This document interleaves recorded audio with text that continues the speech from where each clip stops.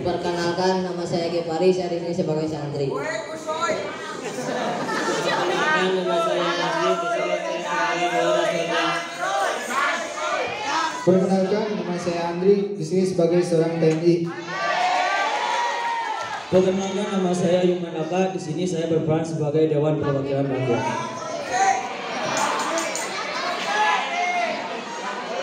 Perkenalkan nama saya Gepari, saya seorang santri Iman. Nurul Iman adalah pesantren yang sudah memberikan saya pengalaman yang merasakan, keindahan persaudaraan, dan tentunya para guru yang membuat saya nyaman.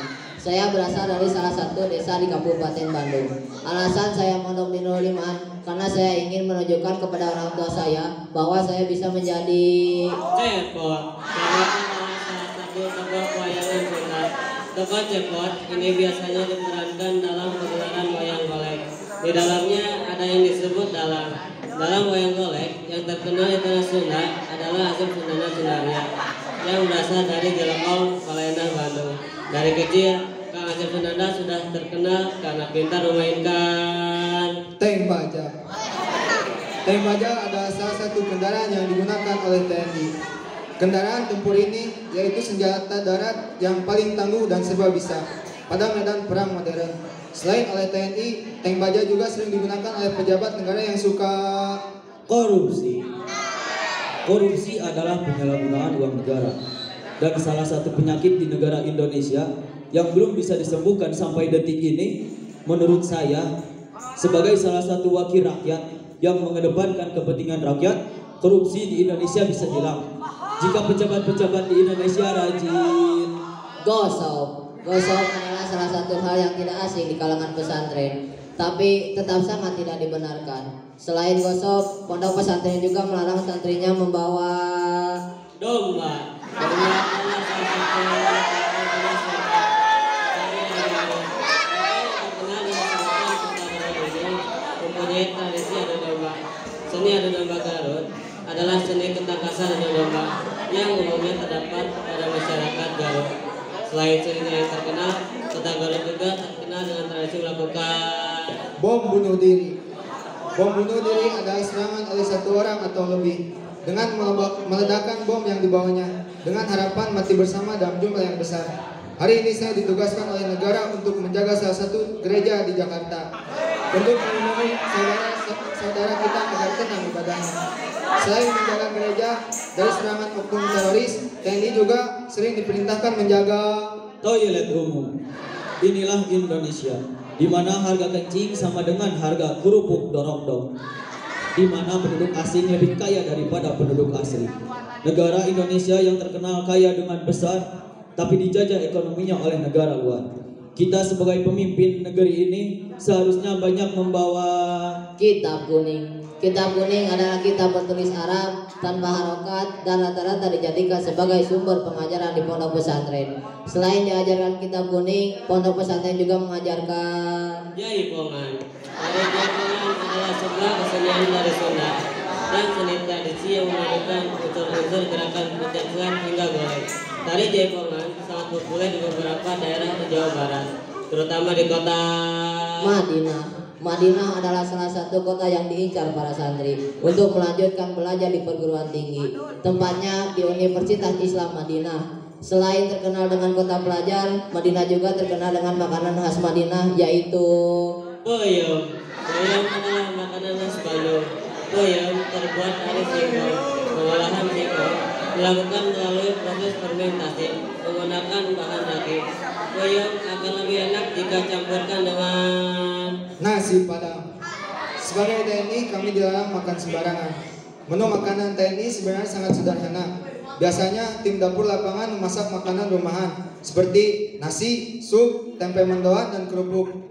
Namun itu semua dapat disantap dalam keadaan segar dan baru dimasak. Selain makanan di atas, TNI juga suka memakan tikus.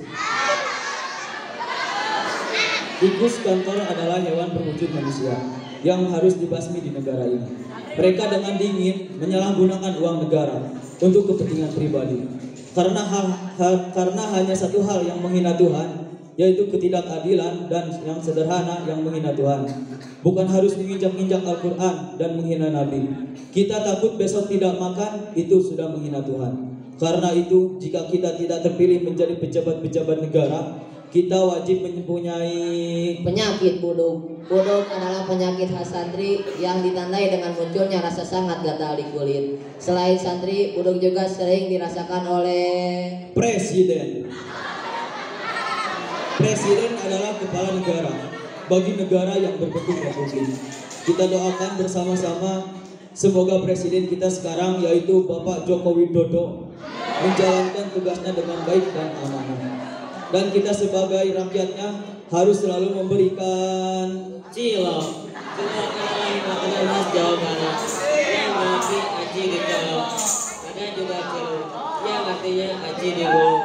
Ada juga cibong yang artinya aci digemol. Ada juga cibar yang artinya aci ngambai. Ada juga cilok yaitu aci telur. Kurang lebih gimana orang Sunda itu perempuannya pada manis dan cantik, laki-lakinya pada dan dan lucu. Karena itu kita harus bangga menjadi orang Sunda karena memiliki banyak Mantan. Dalam dunia tentara sangat jarang mendengar kata mantan. Menunjukkan bahwa TNI menghargai perempuan. Kami berusaha tidak hanya memberi kenangan.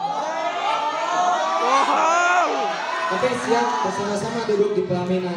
Selain TNI, selain setia, TNI juga memiliki banyak selingkuhan. Godaan menjadi pejabat adalah selingkuh. Oleh karena itu, tanggung jawab pejabat bukan hanya pada rakyat tapi keluarga. Setia itu harus ada dalam dada. Selain dosa, selingkuh juga dapat menyebabkan bisul. Bisul adalah penyakit yang Selain bisul, orang Sunda terkenal dengan penyakit meriang yang berarti panas dingin. Ada juga rombehun, yaitu penyakit telapak kulit yang pecah-pecah. Ada juga cenang yang terkenal dengan sebutan adik bisul. Selain bahasanya yang unik, Sunda juga terkenal pandai memainkan beko. Di pesantren sekarang banyak alat berat seperti beko dan truk.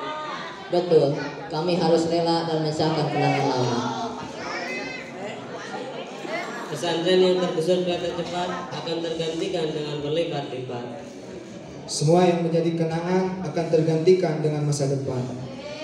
Semoga Nurul Iman selalu diberikan keberkahan dan kemajuan. Pembangunannya segera terselesaikan, santri-santrinya terus dialirkan keberkahan.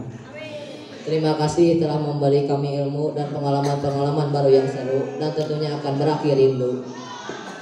Kiai dan para murabi, terima kasih telah memberi kami cinta, mencontohkan akhlak baik dengan nyata, memberikan ilmu tanpa ria.